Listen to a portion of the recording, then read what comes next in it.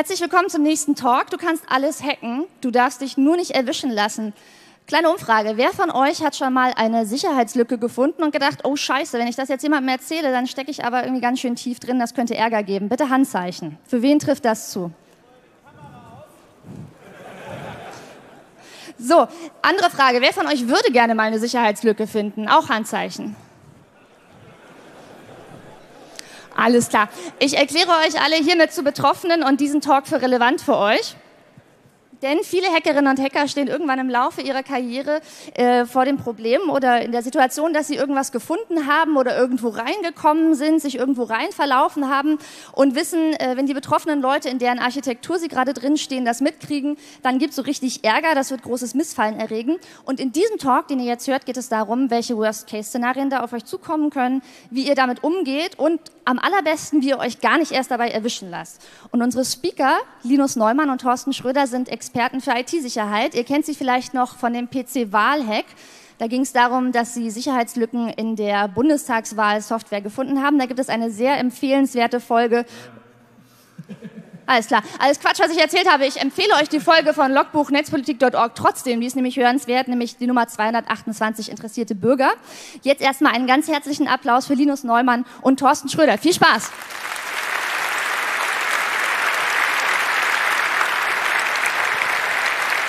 Vielen Dank, dass ihr alle da seid. Vielen Dank für das herzliche Willkommen. Ich fand das auch schön, dass gerade einige von euch direkt den ersten OPSEC-Fail gemacht haben und äh, sich erstmal gemeldet haben. Äh, wir haben noch nie irgendwas gehackt. Wir haben mit nichts was zu tun. In unserem kleinen Talk soll es darüber gehen, ähm, über das Thema, über das hier alle reden, ist äh, Hacking. Und wir sehen so über die Jahre, viele feine junge Hacker landen irgendwie im Knast. Und es gibt einfach viele Risiken, äh, die den Hacksport begleiten und den Genuss trüben. Zum Beispiel sowas wie Hausdurchsuchungen, eingetretene Türen, hohe Anwaltskosten. All das muss nicht sein. Es lohnt sich für euch vielleicht zu überlegen, wie auch ihr weiterhin freie Menschen bleiben könnt. Denn wir wissen, Hacker, das sind freie Menschen, so wie Künstler, die stehen morgens auf und wenn sie in Stimmung sind, dann setzen sie sich hin und malen ihre Bilder. Und wir möchten, dass ihr noch viele schöne Bilder malen könnt. Und der Weg dahin ist OPSEC. Und darüber wollen wir heute mit euch reden. OPSEC ist eigentlich sehr einfach zusammengefasst. Hier auch übrigens schönes, schönes, schönes Lehrmaterial auch wieder aus Russland. Das scheint da irgendwie äh, die umzutreiben. Wir haben, fangen wir mal ganz einfach, im ganz normalen, den ersten Computerwurm an. Übermut tut selten gut, ist eine der wichtigsten Lehren eurer Operational Security, denn Angeberei und, äh, und Übermut bringen euch gerne das ein oder andere Problem ein. Und das wissen wir ungefähr seitdem es Computerwürmer überhaupt gibt. Der erste große Computerwurm, der so in, äh, international unterwegs war und die Hälfte des Internets äh, lahmgelegt hat, war der Morris Worm, der mehrere Schwachstellen in Sendmail, Finger, Remote SH und ein paar schwache Passwörter ausgenutzt hat, um sich selber zu verbreiten. War halt ein Computerwurm. Das führte also zu einem Internetausfall 1988. Und ihr fragt euch wahrscheinlich, warum heißt der Wurm denn Morris-Wurm? Naja, weil sein Erfinder sehr, sehr stolz war auf seinen Wurm und gerne davon erzählt hat, wie er funktioniert hat. Und in einem, zu einem Zeitpunkt stand er wohl irgendwann in der Harvard-Universität auf dem Tisch und predigte, wie sein Wurm funktionierte in allen möglichen Details. Es war aber auch klar, dass die ursprüngliche Infektion dort stattgefunden hat. Er hat allen davon erzählt. Irgendwann hat es jemand einem Journalisten erzählt. Er musste es dann zugeben hat bekommen, dass der Computerwurm immerhin seinen Namen trägt, allerdings auch drei Jahre Bewährung, 400 Stunden soziale Arbeit und äh, 10.000 Dollar Geldstrafe. Ohne den eigenen Geltungsdrang wäre ihm das unter Umständen erspart geblieben. Aber nicht nur bei Hackern haben wir so kleine Probleme mit Operational Security und Geltungsdrang, das haben wir auch bei Bankräubern. Zwar haben wir hier einen jungen Mann, der hat eine Bank ausgeraubt und geraubt. Und was macht man, wenn man so ne, was Spannendes erlebt hat und gerade so das ganz große Geld abgesahnt hat, natürlich erstmal ein Selfie. Ja? Wenn das nicht reicht, kann man auch noch ein anderes Selfie machen. Oder die Komplizin und auch essen.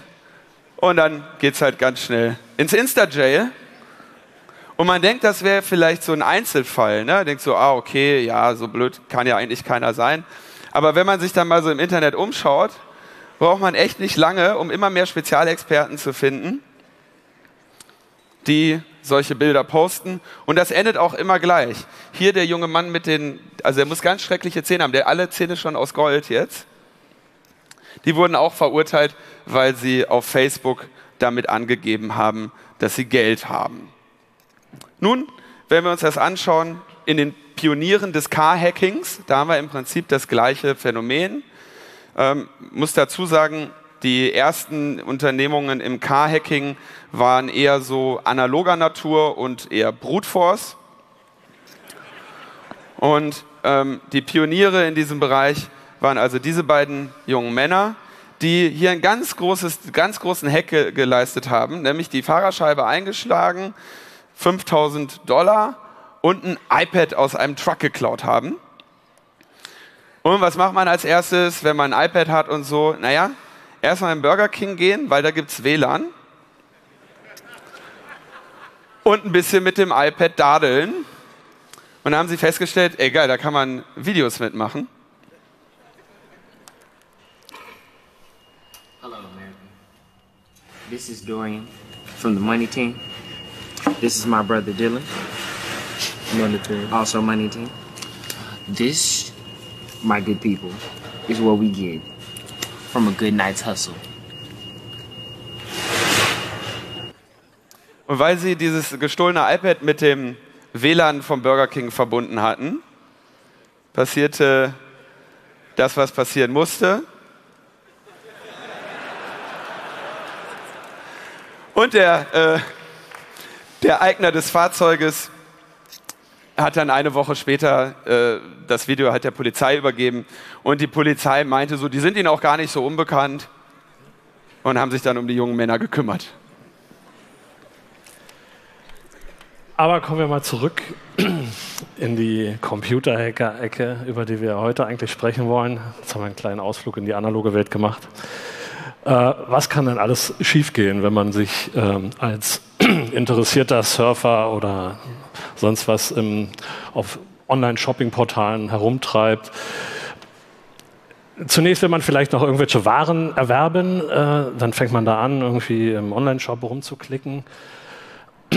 Plötzlich rutscht man mit der Maustaste aus. Das passiert ja manchmal, dass man da vielleicht irgendwie aus Versehen ein falsches Zeichen eingibt. Und was hier halt wichtig ist, wir reden hier von einem Threat-Level, also ein, Level eines Bedrohungsszenarios für den Hacker. Also wenn ihr da irgendwie im Online-Shopping-Portal unterwegs seid und da aus Versehen auf der Maus ausrutscht, dann habt ihr so ein gewisses Bedrohungsszenario. Das wird natürlich ein bisschen höher, wenn ihr da aus Versehen irgendwelche komischen Zeichen eingegeben habt. Ihr seid da wahrscheinlich ohne Anonymisierungsdienste unterwegs, weil ihr wolltet ja bloß irgendwas einkaufen. Und jetzt denkt ihr so, hm, ich bin ja ein bisschen verspielt und neugierig. Ich mache jetzt mal Tor an oder irgendwas und besuche besuch jetzt irgendwie diese Webseite später nochmal mit einem Anonymisierungsdienst. Und ja, dann über die Zeit findet man dann vielleicht aus Versehen noch ein Cross-Site-Scripting. Äh, das Bedrohungslevel wächst so allmählich, aber man hat ja jetzt Tor am Start. Das Bedrohungs-Threat-Level wächst weiter wenn man jetzt vielleicht noch mal eine etwas kritischere Schwachstelle wie eine SQL-Injection gefunden hat. Und es wächst weiter, wenn man vielleicht auch noch eine Remote Code Execution äh, gefunden hat, dann sind wir schon recht hoch. Also wenn man jetzt erwischt wird, wäre es relativ ungünstig, weil man hat ja auch bewiesen, dass man nicht direkt nach einem Cross-Site-Scripting oder irgendeiner anderen banalen Schwachstelle direkt mal zu dem Portal gegangen ist und Bescheid gesagt hat. Naja, was passiert denn, wenn man da weiter stöbert, je nachdem, was man da so für Ziele hat? Vielleicht findet man auch noch ein paar Kreditkarten. Jetzt sind wir schon recht hoch äh, in unserem Thread-Level und das geht rapide runter, weil das Thread-Level ist jetzt wieder äh, quasi null. Es wird entspannter man braucht jetzt äh, keine Angst mehr haben, dass man irgendwann nochmal für diesen Hack da äh, erwischt wird. Ja, warum wird da überhaupt jemand erwischt? Weil ich an die OPSEC erst viel zu spät gedacht habe. In dem Moment, wo ich auf der Maus ausgerutscht bin, hätte ich im Grunde genommen schon äh, ja, einen Anonymisierungsdienst, irgendeinen Tor-Service oder so äh, am Start haben müssen. Denn in dem Moment, wo irgendwann der Betreiber des Portals mitkriegt, dass da was äh, passiert ist, werden die einfach gucken, alles klar, äh, wir verfolgen das zurück, ist eine Tor-Session schlecht, aber irgendwann stoßen sie auf diesen Fall, wo man halt Ups sagt und dann werden, dann werden sie dich halt finden. So. Es ist eigentlich auch so regelmäßig tatsächlich so, dass man irgendwie Leute irgendwie sagen, ach, guck mal hier, ah, da habe ich aber jetzt was entdeckt. Ähm, jetzt gehe ich mal auf Tor. Nee, Leute, ist zu spät. Dann müsst ihr vorher machen. Also wenn, Entschuldigung, wenn, wenn euch sowas auffällt, ihr könntet natürlich mal überlegen, wir haben ja jetzt die, diese Datenschutzgrundverordnung, Ihr könntet ja mal schauen, was sie so für, für, für, für Datenschutzrichtlinien haben. Also manche Unternehmen äh, geben ja dann auch Auskunft darüber, wie lange die Logfiles zum Beispiel aufbewahrt werden. Und es soll ja. Vielleicht habt ihr ja ein Recht auf Vergessen werden. Ja, also es, gibt ja es gibt ja Unternehmen, die speichern ihre Logdaten nur sieben Tage. Dann muss man halt einfach mal noch mal eine Woche warten vielleicht.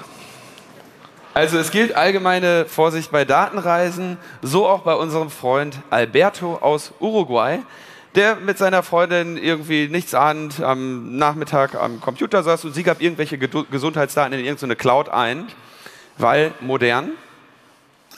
Und Alberto sagte so, ah, Gesundheitsdaten, zeig mal her, hm, Admin, Admin, oh. Ups. Ups. Da war das Ups, ja. Und er schrieb dann eine Mail an das äh, CERT Uruguay, also das die, die zentrale Meldestelle des Landes, weil es sich ja hier um sensible Patientendaten handelte und Gesundheitsdaten. Und er bekam irgendwie innerhalb von Stunden eine Antwort von dem Leiter des ZERT. Also es war ganz klar, wir haben hier einen ernstzunehmenden Fall, der auch eben ernst genommen wurde. Dieser Ups-Fall ist vielleicht nicht ganz so dramatisch, möchte man meinen, weil der Hacker ja nichts Böses vorhatte. Der wollte gar nicht weiter stöbern. Der hat einfach gesagt, so, uh, dem muss ich schnell Bescheid sagen. Für den war der Fall auch erledigt. Der hatte das ja jetzt der, dem ZERT gemeldet. Das ZERT hat sich drum, hat die Verantwortung übernommen. Die kümmern sich jetzt drum, schalten die Plattform ab oder was auch immer. Alberto geht sein Leben ganz normal weiter. Bis er ein Jahr später feststellt, oh, ah, äh, das Admin Admin haben sie inzwischen geschlossen, ist schon mal gut, aber jetzt haben sie unauthenticated File Access, auch nicht so gut. Melde ich doch am besten einfach mal dem ZERT. Und wieder vergeht einige lange Zeit. In diesem Fall um die zwei Jahre Schweigen im Walde. Hatte die ganzen Sachen längst vergessen. Und dann bekommt das betroffene Unternehmen mit den Gesundheitsdaten plötzlich eine E-Mail von irgendwem. Gib mal Bitcoin. Der wollte, gib mal Bitcoin, weil der Angreifer oder der Erpresser hier sagte, er sei im Besitz dieser Gesundheitsdaten, die diese Plattform geleakt hat. Und wenn jetzt nicht 15 Bitcoin innerhalb von Zeitraum überwiesen würden, dann würde er an die Presse ähm, berichten, alle Menschen in diesem Datensatz, die HIV infiziert sind. Die Presse bestimmt total interessiert hätte. Was die, ich weiß nicht, ob das die Presse interessiert hätte. Wen es auf jeden Fall interessiert hat, ist die Polizei. An die Polizei müsst ihr übrigens immer denken. Die erkennt man an diesen die Kleidungsstücken. an diesen Hüten. Die haben vorne auch so einen Stern drauf. Nur damit ihr die nicht vergesst. So, irgendwer will also Bitcoin. Es passiert wieder längere Zeit nichts, bis auf einmal bei Alberto die Tür eingetreten wird. Klopf. Es gibt eine Hausdurchsuchung, wieder mit Brute Force. Und jetzt passiert Folgendes. Die Polizei traut ihren Augen nicht, als sie diese Wohnung betritt und findet so viele, so spannende Sachen, dass sie nachher auf einem eigenen Pressetermin ihre Fundstücke so ein bisschen drapiert und damit angibt. Sah nämlich so aus. Da hatten wir also einen ganzen Stapel Kreditkarten und Blanko-Kreditkarten. Blanko-Kreditkarten machen immer gar nicht so einen guten Eindruck. Meistens nicht. Sowohl im Supermarkt als auch bei euch im Schrank, wenn die Polizei vorbeischaut. Außerdem finden Sie Kartenlesegeräte und ein paar äh, Wallet-Fails. Hallo Nedos. haben sie dann alles schön drapiert, Karten, Lesegeräte, Zahlungsmittel und so. So noch die Frage, ob die Polizei an OPSEC gedacht hat und die äh, Kreditkartennummern vielleicht auch noch gültig waren, als sie die Fotos veröffentlicht haben. Man weiß es nicht, man wird es auch nicht rausfinden.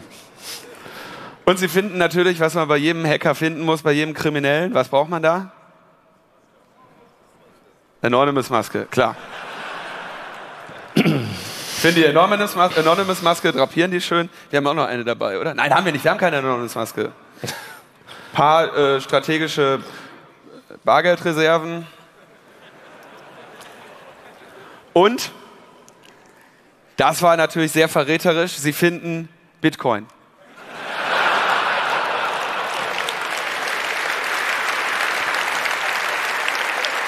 Und die wollte der Erpresser ja haben. Da ist der Fall wohl abgeschlossen. Ein Bitcoin und ein Bitcoin zusammengezählt. Verhör, ein paar Drohungen. Und äh, in Anbetracht der völlig inkompetenten Polizei flüchtet sich Alberto in das falsche Geständnis, in der Hoffnung, dass er im weiteren Verlauf des Verfahrens mit kompetenten Personen in Kontakt kommt. Diese Hoffnung erfüllt sich nicht. Er ist erstmal im weiteren Verlauf acht Monate im Knast und gerade nur auf Kaution raus. Er ist absolut sicher und ehrlich, dass er das nicht getan hat. Hätte er es getan, wäre er auch ziemlich dämlich. Nachdem du zweimal Responsible Disclosure gemacht hast, schickst du keine Erpresser-E-Mail mehr. Vor allem nicht eine, in der du sagst, ich möchte 50, 15 äh, Bitcoins auf folgendes Konto ohne die Kontonummer anzugeben.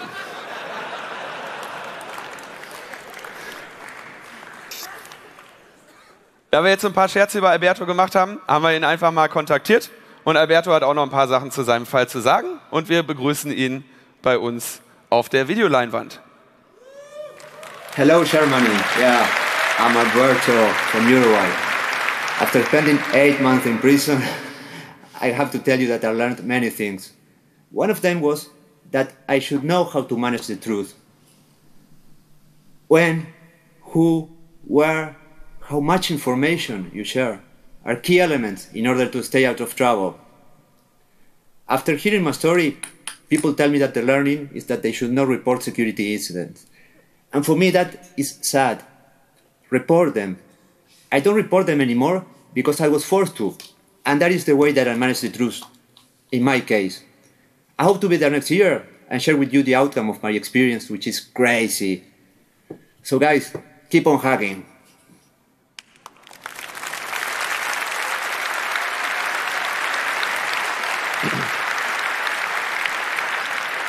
Also das Gerät, mit dem er da kurz hantiert hat, was irgendwie so ein bisschen aussah wie ein GSM-Jammer, das ist ein ganz bedauerliches Missverständnis.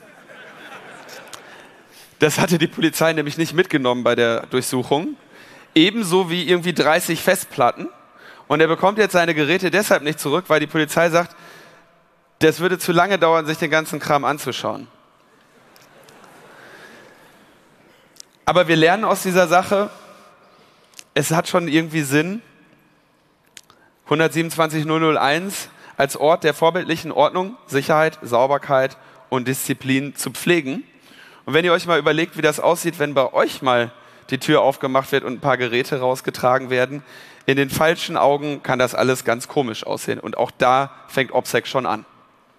Nämlich viel früher, bevor ihr den Browser in die Hand nehmt oder irgendwelche Logins ausprobiert.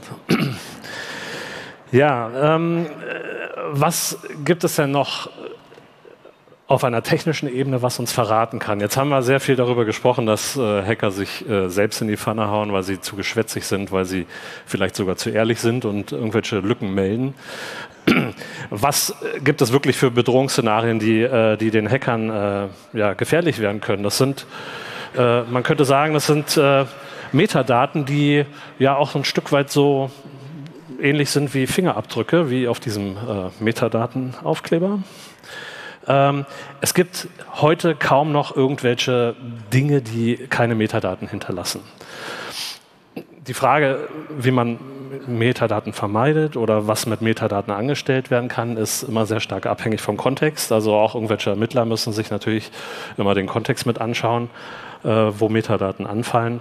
Ähm, deshalb ist natürlich ein, einer der wichtigsten Punkte, über die man sich, bevor man irgendwie auch nur irgendwas anhackt, äh, muss man sich mal darüber im Klaren sein, was hinterlasse ich eigentlich für Spuren. Und das ist jetzt so der Teil, wo wir ein bisschen versuchen wollen, was ich den, den jüngeren Hackern oder Leute, die halt jetzt äh, anfangen, vielleicht auch mal Sachen zu hacken, mal ein paar Ideen mit auf den Weg geben, äh, sich Gedanken darüber zu machen, was was benutze ich für Geräte, was benutze ich für Software, was für Spuren hinterlasse ich mit, äh, äh, ne, also selbst wenn ich jetzt gerade nicht am Rechner sitze, hinterlasse ich ja irgendwo Spuren, weil ich ein Smartphone mit mir rumschleppe.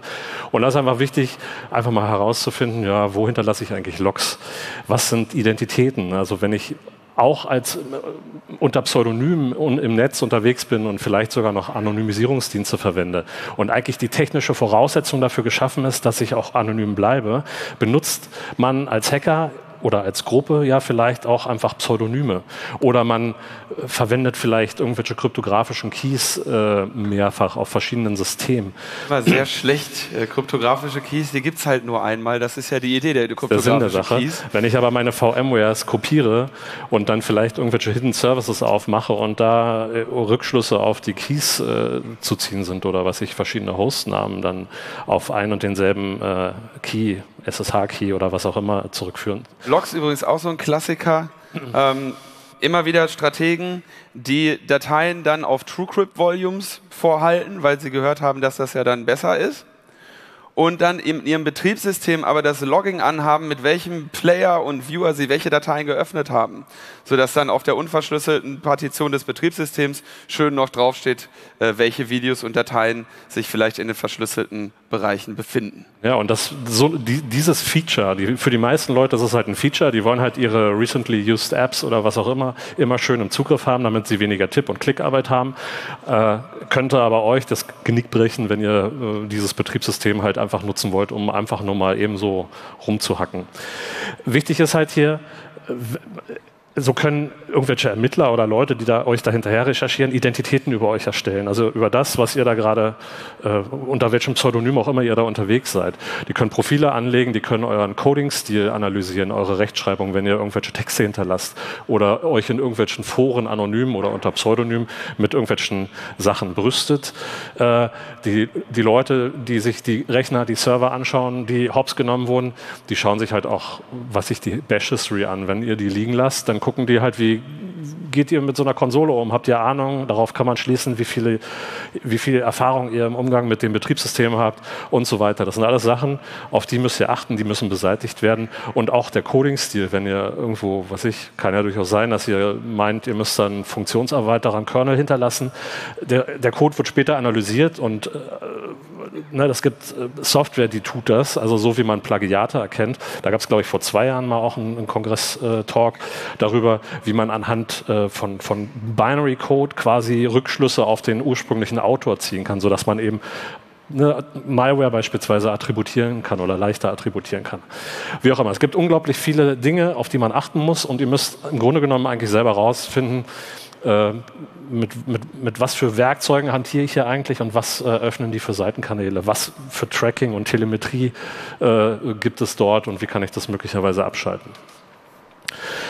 Es gibt irgendwie die Rules of the Internet von Anonymous. Anonymous. Äh, da von denen, glaube ich, inzwischen keiner mehr Anonymous ist, aber dazu kommen wir noch. Äh, die haben halt irgendwie schöne Regeln aufgestellt. Tits or get the fuck out lautet eine. Und das ist halt genau eine Regel für die, die anonym bleiben wollten. Ähm, da, übrigens ist die Nummer falsch, aber ist egal. Äh, ja, hier kommen wir zu einem schönen Fail einer, eines Hackers mit dem Namen Warmer. Der hatte nämlich äh, ein Foto seiner, der Brüste seiner Freundin veröffentlicht und war äh, stolz drauf. War ganz stolz drauf, irgendwie hier Tits or get the fuck out dachten sich auch die Herren von der Polizei, denn in den äh, in den Mit Bildern seinem iPhone aufgenommenen Bild war die GPS-Metadaten von dem Zuhause der Fotografierten. Umgelaufen. Ja. Und deswegen kriegt Warmer von uns den Mario Bart Award für den überflüssigsten OPSEC-Fail. Kennt ihr? Kennt ihr das? Kennt ihr, kennt ihr. Kennst du, kennst du? Fragen sich natürlich, wie geht denn überhaupt Anonymität im Internet, wenn schon Anonymous das nicht hinkriegt? Wir wollen nicht entdeckt werden. Problem? Unsere IP-Adresse verrät unsere Herkunft. Das heißt, wir suchen nach etwas, was unsere IP-Adresse verschleiert und wenn wir das bei Google eingeben, landen wir Ja, bei VPN-Anbietern, das ist so das Erste, was man findet. Ne? Also du willst anonym im Internet unterwegs sein, dann benutzt halt ein VPN, wird auch oftmals äh, als Ratschlag nahegelegt. Ähm, na gut, äh, dann benutzen wir also jetzt einen VPN-Provider, mit dem verbinden wir uns. Das wird dann wahrscheinlich eine OpenVPN oder was auch immer äh, Connection sein, die dafür sorgt, dass unsere ursprüngliche IP-Adresse verschleiert wird, sodass niemand auf Serverseite quasi Rückschlüsse auf uns direkt ziehen kann. Alles, was wir an Traffic ins Internet senden, geht also über dieses VPN und von da aus zu unserem Angriffsziel. Das ist hier äh, eine böse Firma, die hier jetzt äh, angehackt wird und die denkt sich so, wow, was ist denn hier los? Komischer Traffic, ah, ist so ein VPN-Endpunkt. Äh, ja, und, und was, was haben wir jetzt so davon? Also wissen wir jetzt, sind wir jetzt sicher, wir treffen irgendeine Annahme, nämlich die Annahme, dass der VPN-Provider die Klappe hält. Und dem glauben wir, dem vertrauen wir äh, ob wir, obwohl wir den noch nie gesehen haben.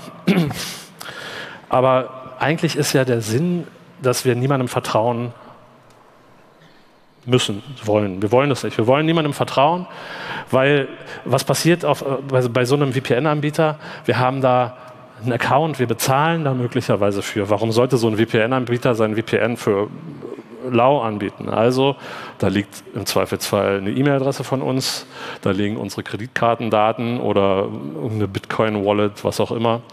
Ähm, es gibt möglicherweise Logs, aber wir wissen nichts davon. Äh, vielleicht hat der VPN-Provider beim nächsten Betriebssystem-Update eine, eine Logging-Option an, die er vorher nicht anhatte und so weiter. Also es kann ganz viel passieren. Das kann halt auch eine Quellen-TKÖ bei diesem Anbieter geben und wir wollen das aber nicht. Wir wollen niemandem vertrauen. Also. Fangen wir nochmal von vorne an. Bei dem Fall ist es halt schief gegangen. Wir müssen also irgendwie einen Weg finden, wo wir nicht darauf angewiesen sind, anderen zu vertrauen. Das heißt nicht, dass wir denen nicht vertrauen können. Es heißt nur, dass wir es nicht wollen. Aber äh, wir brauchen auf jeden Fall erst ein anderes Angriffsziel. Ich würde sagen, wir nehmen einfach mal irgendeine Alternative. Und ähm,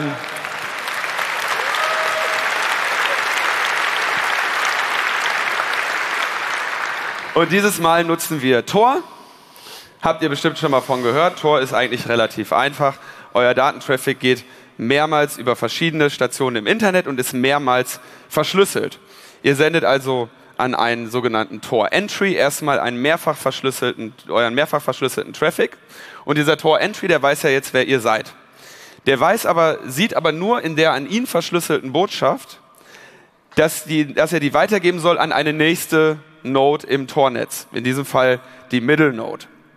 Und die Middle Node gibt das vielleicht noch an andere Middle Nodes weiter, das wurde von euch vorher festgelegt, bis ihr dann irgendwann beim Tor Exit seid.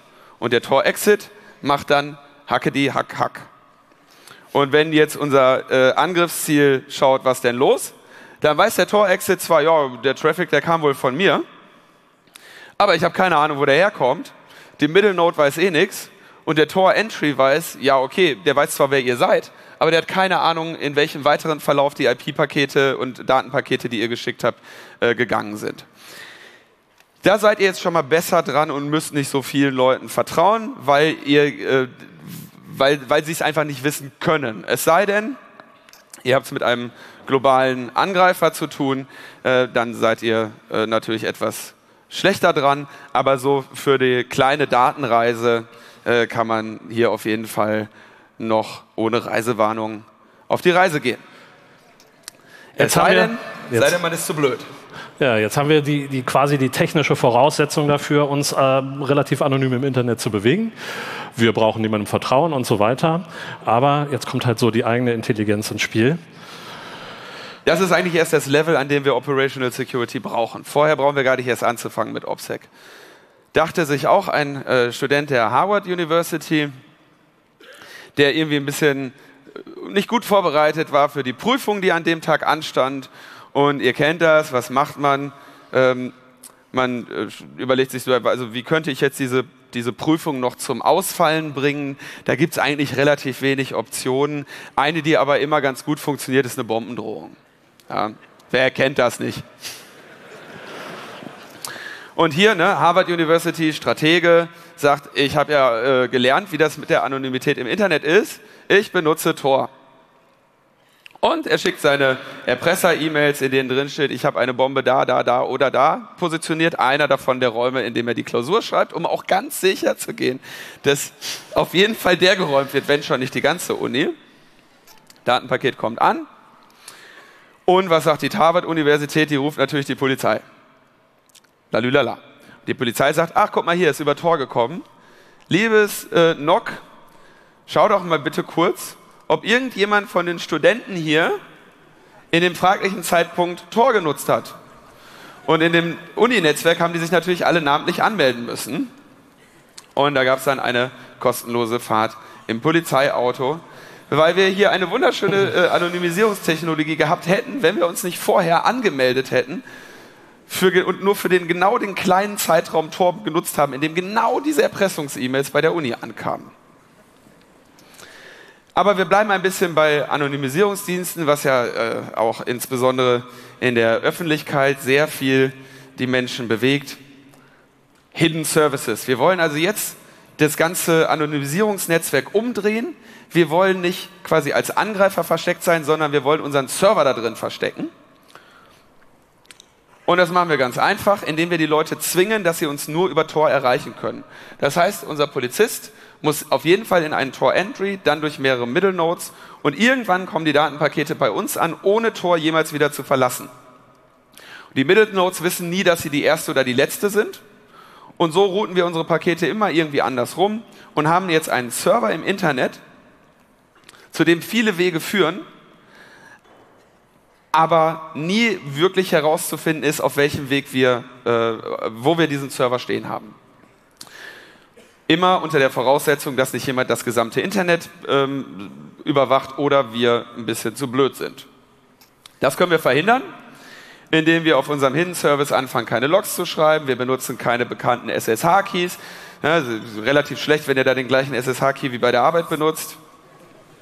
Wir geben unserem Hidden Service nur ein lokales Netz, fangen den in irgendeinem RFC 1918, schaffen getrennt davor einen Tor-Router, der also dann äh, mit dem Internet verbunden ist und diesen, äh, den, den Hidden Service freigibt und dann die Verbindung zu unserem äh, Hidden Service herstellt.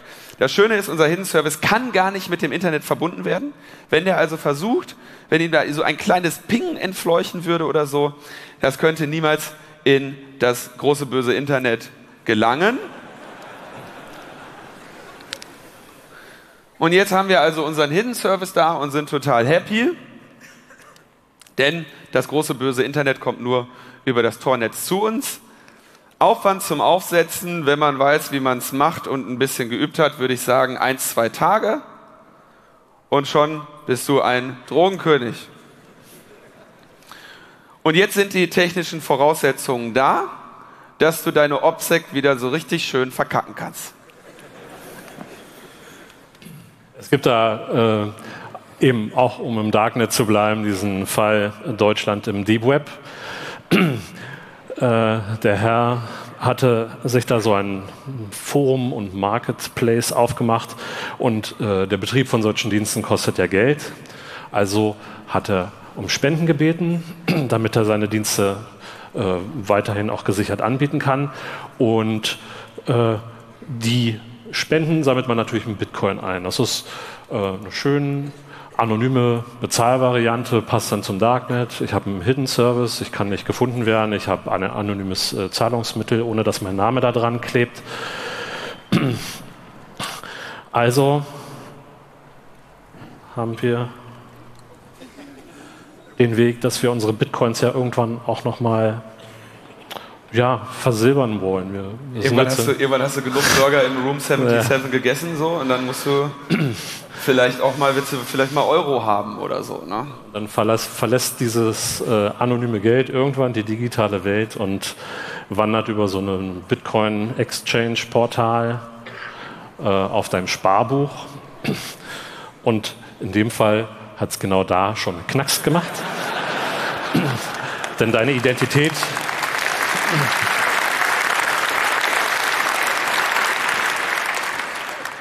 ist genau in diesem Fall aufgeflogen, weil wir hier über einen, auch noch einen deutschen Anbieter äh, Bitcoin Marketplace äh, getauscht haben und wie soll es anders sein? Da wird natürlich äh, Auskunft gegeben, wer denn der eigentliche Empfänger ist und auf welches Sparbuch das Ganze überwiesen wurde. Das heißt, hier kommen wir jetzt zum Satoshi Nakamoto Award für anonyme Auszahlungen.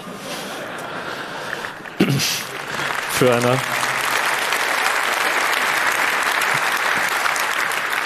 wohldurchdachte ja, Bereicherung. Spendenplattform ist wirklich, wirklich gut gemacht.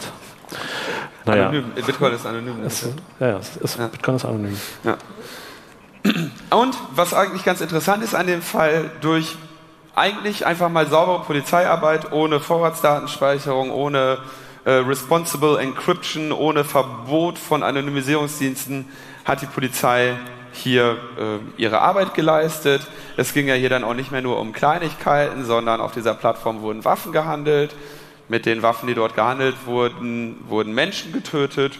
Und ich denke, hier kann man auch einfach mal sagen, die Polizei, Polizei, die ja gerne mal quengelt, dass da irgendwie alle Daten von ihnen weg sind und sie immer mehr brauchen, hat hier einfach mal eine gute Arbeit geleistet.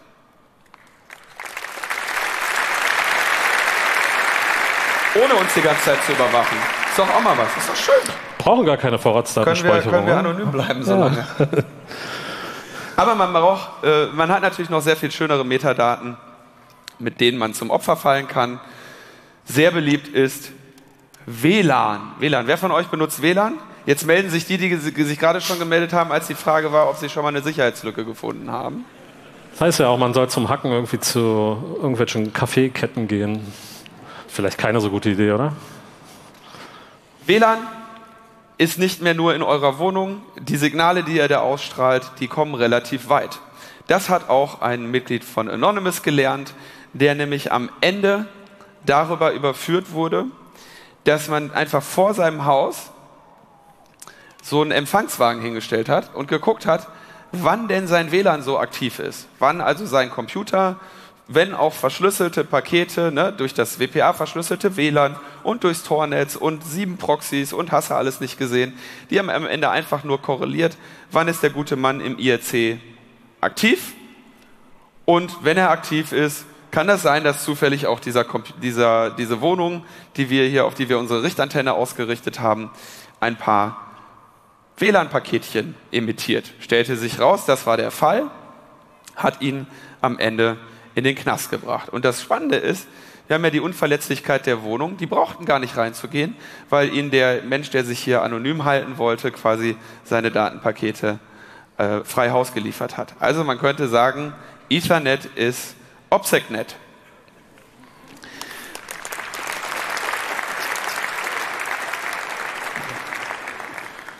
Ein weiterer Killer für Anonymität ist auch äh, ja, die Möglichkeit, dass so ein Smartphone, wenn man rumrennt oder irgendeine eine Uhr mit WLAN-Funktionalität oder Bluetooth, äh, die hinterlassen Spuren, wo man hingeht. Also es gibt ja auch äh, ja, Marketingfirmen, die äh, Lösungen anbieten, äh, was ich die MAC-Adressen von den äh, Endgeräten auch zu tracken.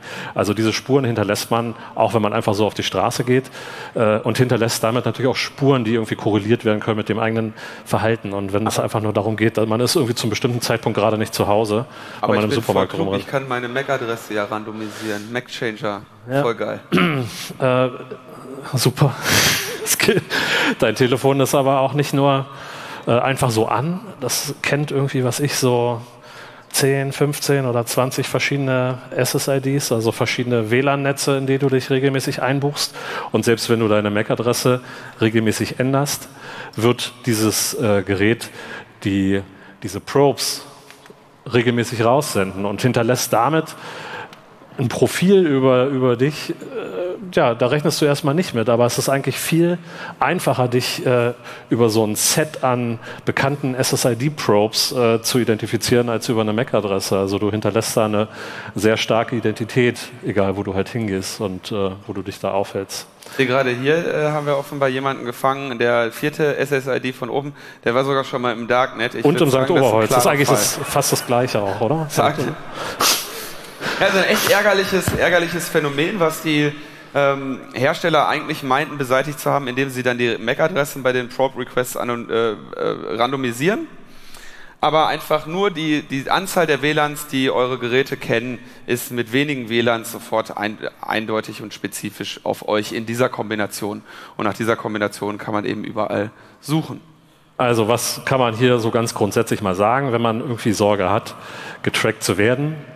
Dann sollte man dafür sorgen, dass das WLAN auf allen im Alltag genutzten Devices ausgeschaltet wird, wenn man die Wohnung verlässt. Oder wenn du irgendwas hackst. Kommt ja manchmal, manchmal. vor. Mhm. Auch sehr schön. Da habe ich einen Fall gehabt, manchmal berate ich Leute. In dem Fall war das eine äh, Gruppe von ehrenamtlichen U-Bahn-Lackierern,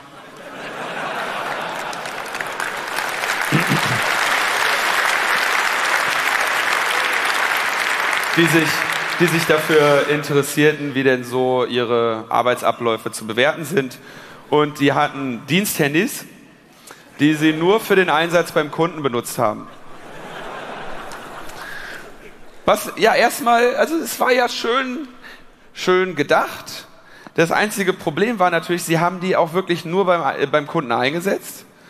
Und wenn man jetzt einmal in so eine Funkzellenabfrage damit gerät und die Polizei spitz kriegt, oh, wunderbar, dann machen wir jetzt einfach jedes Mal, wenn die ein neues Bild gemalt haben, so wie die Hacker von Putin, dann äh, machen wir einfach eine kleine Funkzellenabfrage und schauen uns mal, welche E-Mails, welche IMSIs waren denn so in welchen Funkzellen eingeloggt. Das macht ihr zwei, drei Mal. Dann seid ihr das nächste Mal, wenn ihr im Einsatz seid, ehrenamtlich, wartet die Polizei schon an eurem, ähm, an eurem Einsatzort, denn Mobiltelefone lassen sich einfach live tracken, wenn man weiß, nach welchem man sucht. Und auch hier eben ein wunderschöner Fall von äh, OPSEC-Fail. Übrigens wollte ich nur darauf hinweisen, das ist kein Bild von der angesprochenen Gruppe. So klug waren die schon. Ich habe einfach irgendeins gegoogelt. Und hier wird ein Pseudonym, also weiß ich, irgendein, irgendeine, irgendein Name dieser Gruppe, wird dann irgendwann aufgelöst und wird einer bestimmten Person oder Personengruppe zugeordnet. Und äh, weil halt über einen längeren Zeitraum immer wieder diese Metadaten angefallen sind und immer mit diesem Bild, mit diesem Schriftzug, mit dem Namen also diesem Pseudonym äh, assoziiert werden können. Und irgendwann kommt der Tag, und wenn es nach fünf oder nach zehn Jahren ist, da wird man das dann quasi alles auf eine Person zurückführen können. Das ist echt so dieser Geltungsdrang, der den Graffiti-Sprühern irgendwie immer wieder zum, zum Verhängnis wird. So einmal so eine Bahn zu besprühen und diese wieder sauber machen zu lassen, das kriegst du vielleicht noch geschultert, aber wenn du das irgendwie 20 Mal gemacht hast und dann erwischt wirst, schlecht. Ja, beim 19. Mal denkt man noch, ey, ich wurde jetzt 20 Mal nicht erwischt oder könnten 19 ja, Mal. Könnten, ja könnten jedes Mal ein anderen, anderes Namen malen oder so. Ja, okay, aber, aber das ist ja unter, ist unter Hackern ja auch so. Es gab ja irgendwie auch so Defacement-Organisationen, die das quasi in der digitalen Welt ähnlich gemacht haben. Äh, wie auch immer, äh, wie ich schon am Anfang angesprochen habe, ist eigentlich das Wichtigste, dass man weiß, was für Werkzeuge man verwendet, dass man die Werkzeuge beherrscht, dass man nicht einfach irgendwas runterlädt, weil man hat davon mal irgendwas gehört oder ein Kumpel hat mal was gesagt oder man hat im Internet irgendwas gelesen. Ähm, kenne dein Gerät, setz dich mit der Technik auseinander, die du da benutzt und benutze halt die Technik, die du am besten beherrschst. Beispielsweise Webbrowser. Das ist schon ein ganz wichtiges Thema. Ich meine, viele dieser ganzen Web-Application-Geschichten, die, die, auf die stolpert, über die stolpert man halt hauptsächlich mit Browsern. Und heutzutage ist es eigentlich völlig egal, äh, was für einen Browser man benutzt. Die haben alle irgendwelche Macken, irgendwelche Tracking oder Telemetrie äh, enabled. Ähm, das ist zum Beispiel auch bei, bei Mozilla ein großes Ding, wenn man halt eine, eine sehr beliebtes äh, äh, wenn man eine sehr beliebte Extension installiert hat und die zum Beispiel den Besitzer wechselt und dieser neue Besitzer dann einfach klammheimlich irgendein Tracking einbaut, das ist alles schon vorgekommen, kann euch das, das irgendwann... Kann euch das irgendwann äh, den Kopf kosten. Und deswegen müsst ihr ganz genau wissen, was benutze ich hier für Tools, was ändert sich, wenn ich dieses Tool vielleicht mal update oder irgendwie eine kleine Extension update. Ähm, setzt euch einfach damit auseinander. Denn was die Werbeindustrie ganz gut drauf hat, ist, euch zu tracken, egal ob ihr jetzt Cookies akzeptiert oder irgendwie Tracking disabled habt. Die können das ganz gut mit Browser-Footprinting. Da gibt es verschiedene Methoden, eben auf einem ganz anderen Weg, so wie man eben diese WLAN-Probe-Requests irgendwie nutzen kann, um einen Footprint äh, zu identifizieren, kann das halt bei Browsern genauso funktionieren. Also, was kann man da machen? Man verwendet vielleicht äh, Wegwerfprofile, man sorgt dafür, dass die Daten zuverlässig von der Festplatte wieder verschwinden. Idealerweise hat man ja ohnehin einen Laptop, mit dem man dann hackt, den man regelmäßig mal platt macht. Und man muss dafür sorgen, dass egal was für einen Browser ihr verwendet, dass alle Datenlecks zuverlässig gestoppt werden. Ein Serviervorschlag für so ein Setup, äh, anonym und möglichst, mit möglichst wenig Datenlecks unterwegs zu sein, ist einfach alles zu trennen, was man trennen kann wenn ihr grundsätzlich davon ausgeht, dass, äh, dass irgendwo etwas schiefgehen kann und es wird irgendwo etwas schiefgehen, dann müsst ihr einfach dafür sorgen, dass dieses Risiko möglichst minimal gehalten wird. Also wäre eine Möglichkeit, ihr benutzt irgendeinen Rechner als Hardware oder VM, wo ihr eure Hacking äh, Workstation drin habt, irgendein Kali oder ein BSD oder was auch immer und über meinetwegen äh, eine Unix-Installation ähm, dafür sorgt, dass keine Datenlecks nach außen gelangen können. Es wird immer noch irgendwelche Datenlecks geben, die so ein Hunix äh, nicht äh, abhalten kann, aber es minimiert zumindest bestimmte Risiken, bevor irgendwelche Pakete fahrlässig ins große böse Internet gesendet werden, ähm, wo eine Menge Leute darauf warten.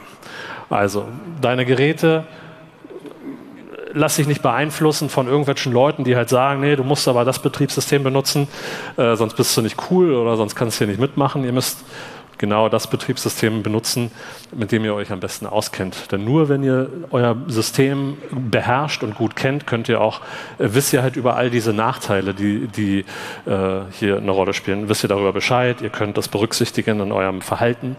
Ähm, Faulheit ist auch ein großer Killer von Anonymität. Äh, ebenso dieses äh, vorausschauende OPSEC, dass man, dass man sagt, äh, ich benutze von vornherein Tor, auch wenn ich jetzt gerade nur, was ich im Online-Shop was einkaufen will. Einfach nur, um sicher zu sein, dass man nirgendwo einfach nur aus Faulheit irgendeinen Schutzmechanismus mal weglässt. Kann ja auch sein, dass eine Target-Server äh, einfach sagt, so, nö, ich blockiere aber Tor, Exit Vor. Oder dass zum Beispiel die, die, die Captures immer lästiger werden, wenn, wenn man über eine Tor-Exit-Node kommt. Das ist einfach alles nur dafür da, euch zu nerven und einfach mal für einen kleinen Augenblick Tor abzuschalten und vielleicht einen normalen VPN-Anbieter zu benutzen oder komplett auf irgendeine Verschleierung zu verzichten. Und ja, diese Faulheit wird euch im Zweifelsfall auch das Genick brechen. Was wir äh, in Zukunft eventuell auch häufiger sehen könnten, ist etwas, das sind Canaries. Ähm, Colin Mulliner hat äh, letztes Jahr auch schon auf dem Kongress, glaube ich, äh, über Canaries in Embedded Devices gesprochen. Das äh, sind einfach nur irgendwelche Pattern, die in der Firmware hinterlassen werden, die dann gemonitort werden, ob jemand danach googelt. Das heißt, ich kann also auch auf einem Produktionssystem so eine Art Pseudo-Honeypot installieren und irgendeine Datenbank mit, mit äh, scheinbar realen Daten füllen und irgendein Angreifer, der halt sehr neugierig ist, wird das möglicherweise ausprobieren, ob das Login von der Frau Merkel dann auch wirklich funktioniert oder er wird vielleicht nach irgendeinem Pattern auch googeln, um herauszufinden, ob sich da noch mehr holen lässt, um die Qualität und vielleicht auch den Wert der erbeuteten Daten auszukundschaften. Das heißt, da ist auch Neugier dann der, der Killer, was Anonymität angeht. Äh, und ja, das sind halt einfach Fallen, die ausgelegt werden und man sollte grundsätzlich so eine gewisse Grundparanoia haben. Ähm, man sollte immer davon ausgehen, dass, dass jemand äh, einem eine, eine Falle stellt. Zum Beispiel auch, wenn das Männchen von der, vom Elektroversorger kommt und sowas mitbringt. Äh, wisst ihr, was das ist? Das ist ein Smart Meter.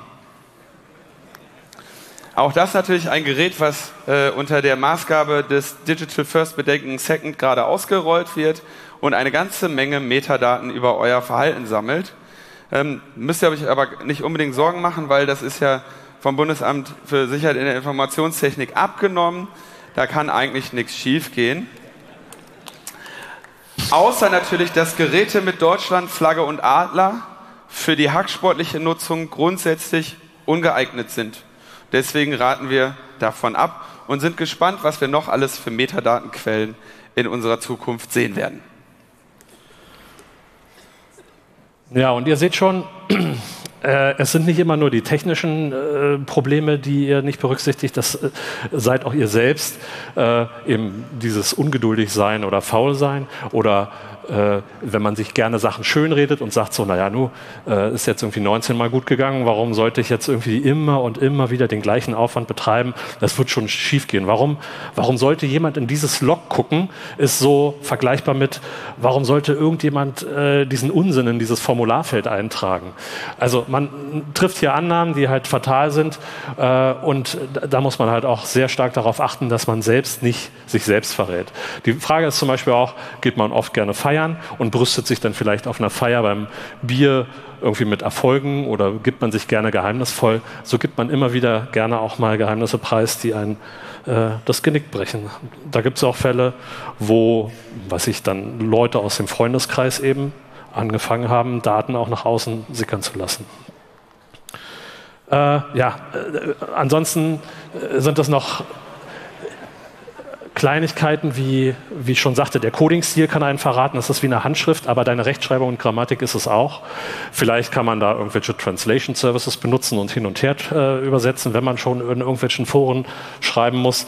Äh, bestimmte Skills, Eigenschaften, die, die ihr technisch beherrscht, die andere vielleicht nicht so gut beherrschen, können euch auch genauso gut verraten. Das sind am Ende einfach nur einzelne Indizien, die von Ermittlern oder Leuten, die euch jagen, äh, kombiniert werden, um einen plausiblen plausiblen Beweis äh, zu, zu finden, äh, um euch zu finden.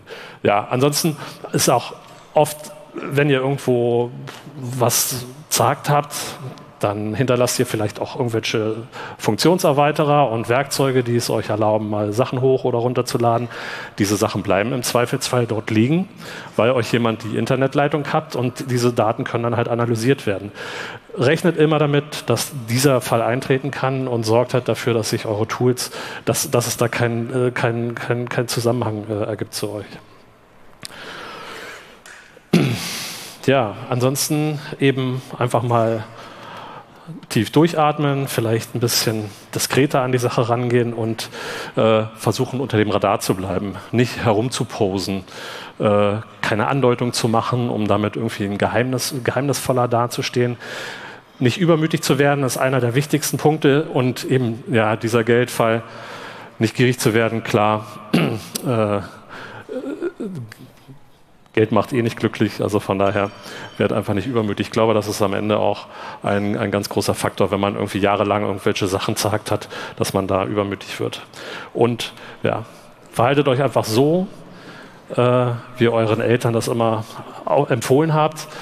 Ähm, klickt nicht auf irgendwelche Links, die ihr per Spam-E-Mail zugeschickt bekommt. Klickt nicht auf irgendwelche Anhänge, die euch äh, zugeschickt werden, ungefragt. Und seid einfach nicht so leichtfertig.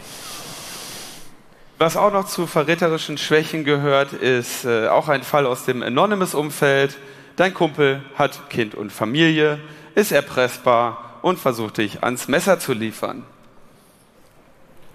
Ich habe kein Messer dabei. okay, ist gut.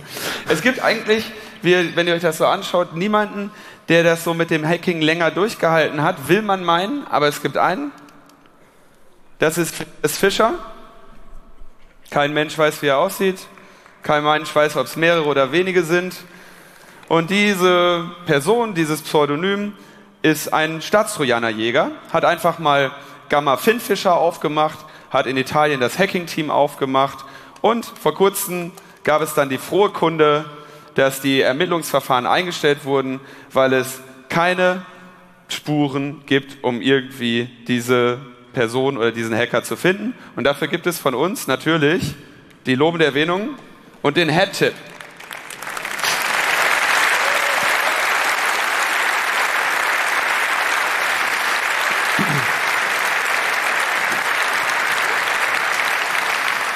Kommen wir zum Fazit.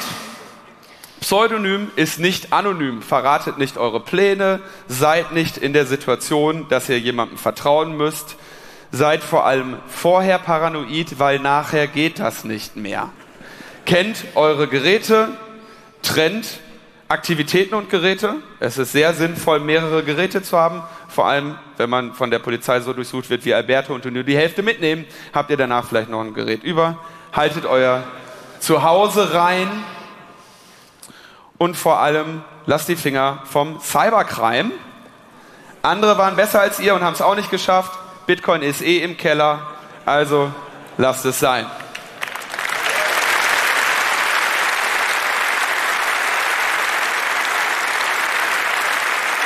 Und dann, dann bleibt uns eigentlich nur noch ein, ein allerletzter wichtiger Rat. Und das ist nie ohne Skimaske haken. Und immer auch nie ohne Ethik hacken. Und bitte, bitte, bitte, bitte, bitte, bitte, nie ohne Ethik hacken. Den Vortrag über die Hackerethik, auch das ein Einführungsvortrag, den gab es an Tag 1 von Frank Rieger. Ihr könnt euch auch auf den Seiten des CCC darüber informieren. Ähm, spart euch den Ärger, arbeitet auf der leuchtend glänzenden Seite der Macht und seid gute Hacker, macht keinen Scheiß, dann habt ihr auch keine Sorgen. Vielen Dank.